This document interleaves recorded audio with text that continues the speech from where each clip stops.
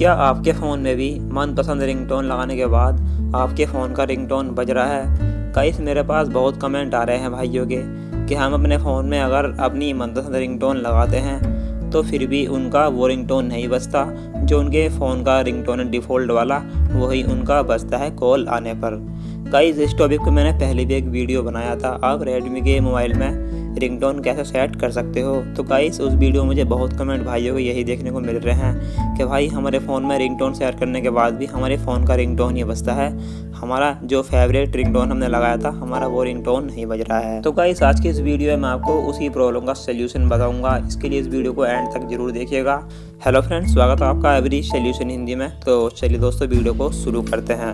अब गाइस क्या हो रहा है? अगर कोई व्यक्ति अपने रेडमी के फ़ोन में सेटिंग्स में जाने के बाद रिंगटोन को सेट करने की कोशिश करता है। जैसे कि गाइस मैं यहाँ पे सेटिंग में आ गया हूँ। अब यहाँ पे हम चलते हैं अपने साउंड एंड वाइब्रेशन में, ठीक है? अब यहाँ गाइस आ जाने के बाद, अब यहाँ पर आपको चार बॉक्स देखने को मिल जाते हैं। ये रिंगटोन का सेटिंग है। तो गाइस आपको इस वाले ऑप्शन पे क्लिक करना है फ़ोन रिंगटोन ठीक है? अब गाइस इस ऑप्शन पे क्लिक कर देने के बाद, अब यहाँ पर आपको, जैसे कि आप देख पा रहे हो, ये ऑल रिंगटोन वाला एक ऑप्शन देखने को मिल जाता है। तो इसके ऊपर आपको क्लिक कर देना है।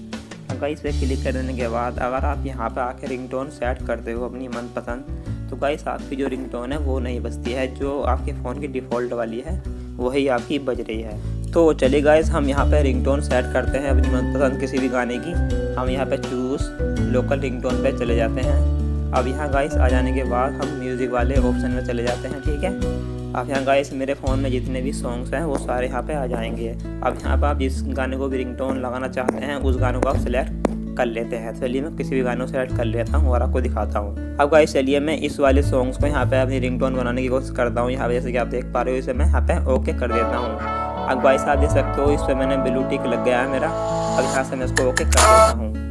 अब गाइस जैसे कि आप देख सकते हो, मैंने इसको ओके कर दिया है। अब यहाँ पे ये मेरा रिंगटोन सेट हो चुका है। अब चलिए गाइस यहाँ पे मैं दूसरे फ़ोन से इसको कॉल करता हूँ और ट्राई करता हूँ कि मेरा रिंगटोन ये बजता है या नहीं बजता है। तो गाइस यहाँ मैंने दूसरे फ़ोन से कॉल किया। अब आप गाइस जैसे कि देख सकते हो, हमने जो रिंगटोन सेट किया था, हमारा वही रिंगटोन यहाँ पे बज रहा है। जैसे कि आप यहाँ पे देख पा रहे हो। तो गाइस यहाँ पे मैंने आपके सामने अपना मनपसंद रिंगटोन सेट करके दिखा दिया है।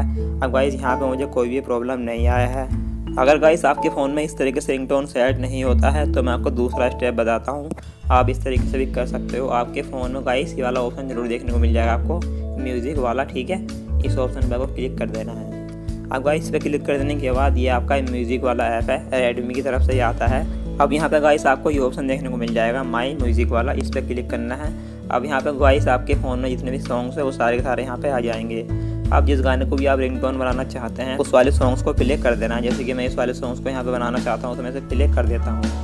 अब गाइस आप जैसे कि देख सकते हो, मैंने इस सॉन्ग्स को यहाँ पे प्ले कर दिया है। अब गाइस चलिए मैं इसको रिंगटोन सेट करता हूँ अपने फ़ोन पे। यहाँ पे मैं थ्री डॉट पे क्लिक करता हूँ। अब गाइस इस पर क्लिक कर देने के बाद आप यहाँ पे जैसे कि देख सकते हो रिंगटोन एडिटर तो गाइस आप यहाँ पे इस तरह से, आप जितना अपने रिंगटोन लगाना चाहते हैं अपने, जितने हिसाब से तो गाइस आप यहाँ पे अपने फ़ोन में रिंगटोन को सेट कर सकते हो बहुत ही आसानी से। और यहाँ पर आपको सेट एज रिंगटोन वाला एक ऑप्शन देखने को मिल जाएगा। तो गाइस आप अपने म्यूज़िक वाले ऑप्शन में भी रिंगटोन आकर सेट कर सकते हैं, बहुत आसानी से। अगर फिर भी आपका रिंगटोन सेट नहीं होता है तो गाइस फिर आपको क्या करना है? आपको अपने मोबाइल की सेटिंग्स में जाना है। अब गाइस सेटिंग्स में आ जाने के बाद अब यहाँ पर आपको आव आउट का एक ऑप्शन देखने को मिलेगा सबसे ऊपर। इसके ऊपर आपको क्लिक करना है। अब यहाँ गाइस आपको सिस्टम अपडेट वाले ऑप्शन पर क्लिक कर देना है।